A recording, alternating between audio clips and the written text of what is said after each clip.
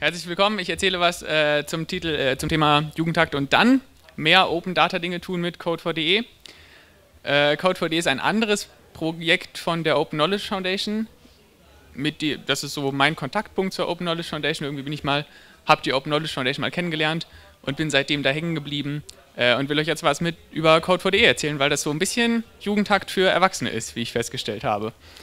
Ähm, um die Verwirrung auszuräumen, ich bin auch Knut, ich bin nicht der gleiche Knut wie gestern. Ich habe mich also nicht ganz doll geändert über Nacht. Ähm, ich bin der andere Knut aus Berlin oder der Not Knut äh, auf Twitter. Genau, die Präsentation kommt ursprünglich von Thomas, der heute hier ganz fleißig rumgelaufen ist und Datensätze verteilt hat. Äh, die Idee des Vortrags ist, dass ich erzähle, was ist Open Data eigentlich, denn das ist das, was Code for Germany macht. Und dann nochmal so ein paar Beispielanwendungen zeige, vor allem auch Anwendungen, bei denen man sich selber gut einbringen kann. Äh, Open Data, das sind maschinenlesbare Daten, die unter einer offenen Lizenz stehen. Das heißt, man darf sie mixen und teilen, man darf aus den Daten neue Sachen bauen, man darf die Datensätze miteinander, miteinander kombinieren und man darf die Daten auch kommerziell nutzen.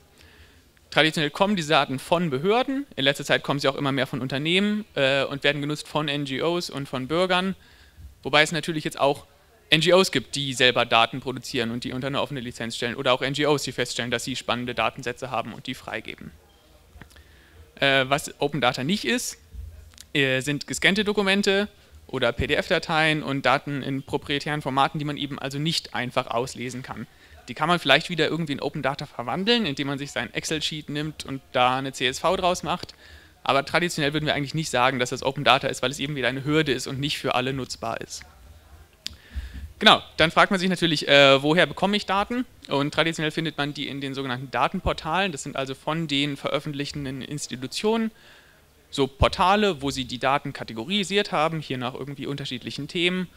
Ähm, da kann ich jetzt also zum Beispiel mir angucken, ich möchte Daten haben über Gesetze und Justiz oder über Gesundheit. Was wir hier sehen, ist das Datenportal GovData. Das ist das deutschlandweite Datenportal, was die ganzen kleineren Datenportale so ein bisschen vereint, damit man nicht für jede Stadt einzeln suchen muss, sondern an einer globalen Stelle suchen kann.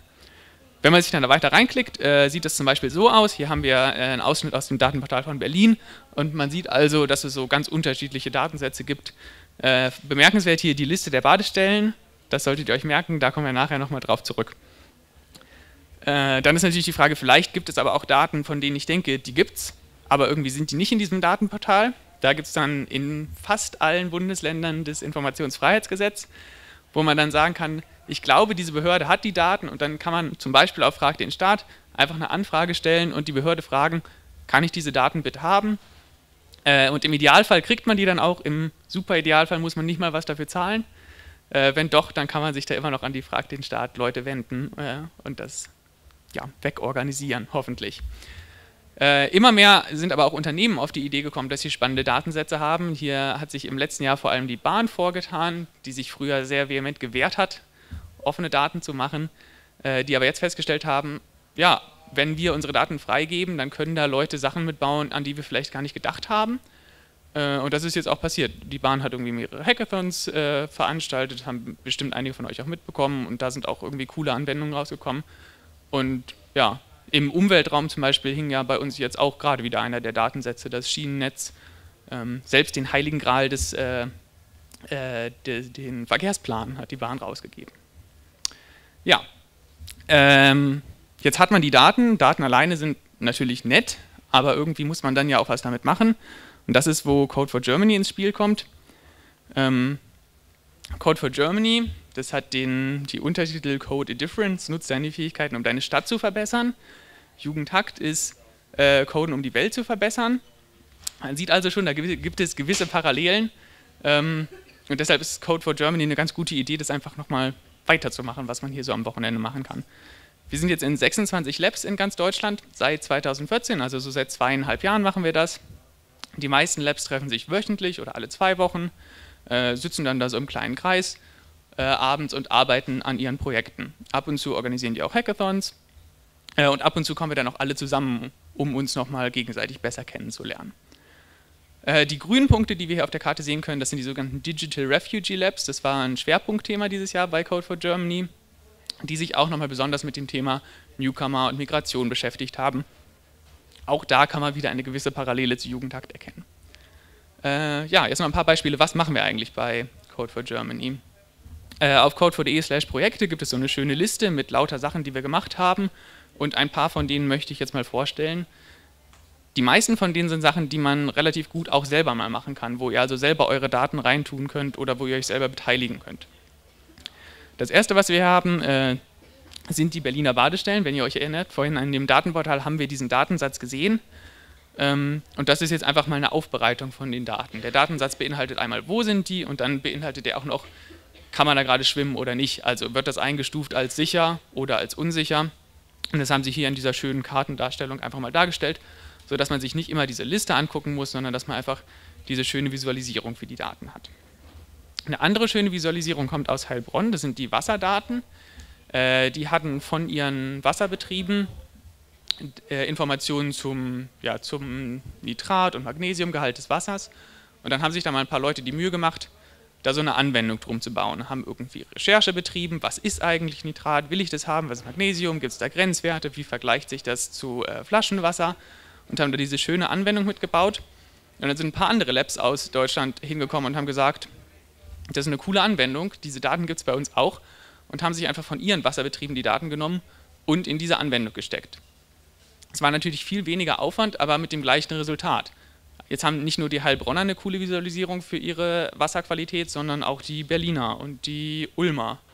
Ähm, das ist was, was ihr auch total gut bei euch zu Hause machen könntet. Ihr könntet einfach mal zu den Wasserbetrieben gehen und die fragen, ob sie diese Daten nicht haben und ob die nicht auch unter einer freien Lizenz stehen. Und dann könnt ihr die auch einfach in das Format umwandeln und dann habt ihr auch so eine schöne Visualisierung, was vielleicht auch die Wasserbetriebe wieder selber total toll finden und feststellen, dieses Open Data, das ist ja eigentlich eine ganz gute Idee, denn dann haben die auf einmal auch eine coole Visualisierung für ihre Daten. Ähm, ein anderes Projekt, was wir relativ viel gemacht haben im letzten Jahr, ist Wo ist Markt, heißt es, ist auch so ein Mitmachprojekt. Äh, da geht es einfach nur darum, Märkte darzustellen auf einer Karte, Wochenmärkte. Das ist ein Datensatz, den gibt es in fast jeder Stadt, weil so ein Markt natürlich bei der Stadt angemeldet werden muss und weil die Städte da auch relativ gut einsehen, dass man das mal veröffentlichen könnte. Ähm, und was wir da gemacht haben, ist, wir haben einfach diese Märkte auf einer Karte gesammelt. Äh, am Anfang waren es nur so zwei, drei Städte und im Laufe der Zeit sind aber immer viel mehr Städte dazugekommen, weil es eben total einfach ist. Man macht eine GeoJSON-Datei, schickt einen Pull-Request bei GitHub und schon hat man seine äh, Daten auch auf der Karte. Und das ist einmal cool, weil man halt irgendwie nachgucken kann, wo ist jetzt gerade Markt, wo ist nächste Woche Markt. Wir hatten aber zum Beispiel im Berliner Lab auch einen, der dann da ein Chatbot mitgebaut hat wo ich jetzt also schreiben kann, hey, wo ist hier bei mir der nächste Markt morgen? Und dann kriegt man eine Antwort. Ähm, auch das ist wieder so, die veröffentlichen die Daten irgendwie und daraus werden Anwendungen, an die man gar nicht gedacht hätte. Also ich glaube nicht, dass bei der Stadt Berlin irgendwer da saß und dachte, hey, ich veröffentliche jetzt mal diese Marktdaten und dann baut bestimmt jemand einen coolen Chatbot damit. Genau. Anderes Beispiel aus Berlin, äh, auch wieder relativ jugendhaktnah, sind äh, die Schulsanierungen. Berlin hat so ein kleines Problem mit Schulen, die ein bisschen auseinanderfallen. Ähm, und da hat der Thomas mal aufgeschrieben, was es eigentlich kostet, die zu sanieren. Ähm, auch wieder auf Basis äh, der, der offenen Datensätze. Äh, das ist auch was, was man bestimmt gut auf andere Städte übertragen könnte. Ich glaube, es gibt noch diverse andere Städte, in denen es Sanierungsbedarf äh, für Schulen gibt. Wenn man jetzt nicht zufrieden ist damit und sich fragt, wer könnte denn jetzt eigentlich mal was daran ändern, dass diese Schulen so kaputt sind, dann kann man sich so Projekte angucken wie, ist Mün äh, wie München Transparent. Äh, ein anderer klassischer Datensatz, der oft frei ist, sind Informationen aus den Ratsinformationssystemen. Das sind so die Systeme, wo die Lokalpolitiker ihre Entscheidungen treffen und dann schreiben sie die auf und die werden in diesen Ratsinformationssystemen gesammelt ähm, und verstauben da wieder so ein bisschen vor sich hin und die sind sehr ja, unintuitiv und es macht einfach keinen Spaß, die zu benutzen. Da haben ein paar Münchner sich mal hingesetzt und da so eine ansprechende Visualisierung für gebaut, wo man irgendwie nach äh, Kiez suchen kann oder man kann nach Politikern suchen und man kann vor allem auch sagen, mich interessiert dieses Thema und ich wohne hier, schick mir doch mal eine E-Mail, wenn dazu was besprochen wird im Parlament. Und dann kann man eben, kriegt man eine E-Mail und äh, ja, kann sich beteiligen. Äh, wir haben auch Hardware-Projekte. Äh, das ist ein Projekt aus Stuttgart. Äh, die haben einen Feinstaubsensor gebaut in, weil eben Stuttgart in einem Tal liegt und es da ein relativ großes Problem mit Feinstaub gibt, der sich so über der Stadt sammelt und keine so tolle Messinfrastruktur, haben sie sich gedacht, bauen wir einfach selber. Ähm, und das ist halt ein cooles Beispiel dafür, wie man auch Open Data selber produzieren kann. Also die bauen jetzt diese Sensoren und verteilen sie überall in der Stadt und daraus fallen lauter Daten, die sie dann wieder unter einer freien Lizenz veröffentlichen können. Das heißt, sie können die selber benutzen. Die werden aber auch zum Beispiel äh, für Wissenschaftler jetzt zugänglich. Und Wissenschaftler können damit irgendwie Städte vergleichen, versuchen Modelle für Stuttgart zu bauen. Genau. Ja, das waren so die Projekte, die ich vorstellen wollte. Äh, wie gesagt, wir sind 26 Labs über ganz Deutschland verteilt. Wenn es bei euch in der Nähe noch kein Lab gibt, äh, dann fragt doch einfach mal da so in euren Kreisen, ob nicht irgendwer Interesse hat, mal eins zu gründen. Äh, die ganzen Labs haben auch alle Unterseiten auf code4.de. Da kann man also auf code4.de slash Berlin oder slash Karlsruhe gehen und stehen, stehen oben immer die Namen von den sogenannten Lab-Leads.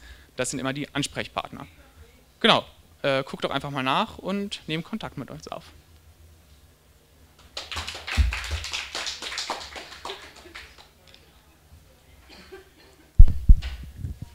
Ja, cool. Ähm, ich kann auch nur berichten, dass die ähm, immer sehr spannende Abende sind, wenn man das beim Lab ist. Und vielleicht gibt es ja auch Nachmittage, wenn einem die sonstigen Termine zu spät sind. Habt ihr Fragen oder Sachen, die vergessen wurden? Kannst du vielleicht bei der Schulvisualisierung, ähm, gibt es da eine URL, die du gleich mal rumschicken kannst, weil die vielleicht einige Teilnehmerinnen auch interessiert, dass sie die vielleicht für ihre Bundesland oder so nachbauen können? Äh, ja, da gibt es hier unten schulsanierung.tour6.de. Kann ja gleich mal jemand festlecken. Genau, kann bestimmt irgendwer verslecken oder verslecken. Super. Danke ich dir cool. und ja. Ja, vielen Dank.